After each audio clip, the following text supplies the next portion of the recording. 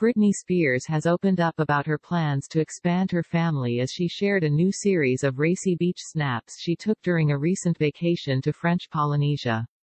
Planning on having babies in Polynesia. The musical artist, 40, said in an Instagram post on Monday, accompanied by a series of photos in which she relaxed on a beach in the South Pacific donning a pair of yellow bikini bottom. The Baby One More Time singer recently enjoyed a tropical vacation to commemorate fiancé Sam Asghari turning 28. Spears in November opened up about her desire to have another child, as she is mother to two sons Sean Preston Federline, 16 and Jayden James Federline, 15, with with ex-Kevin Federline, 43.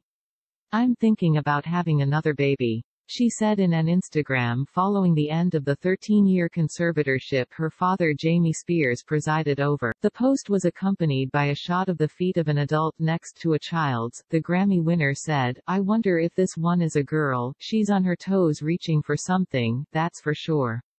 The Oops, I Did It Again vocalist told a Los Angeles court last June that she had to use a birth control device under the terms of the conservatorship, adding, they don't want me to have children, any more children. The Toxic artist earlier this month shared a previous batch of images from her vacation, saying, Alrighty then folks, showing my bod in French Polynesia as a rebel and free woman. The You Drive Me Crazy singer also shared with her followers a montage of clips of herself and Asghari sharing romantic outings dancing, dining and riding in a vehicle. Thank you baby for always reminding me what life is about.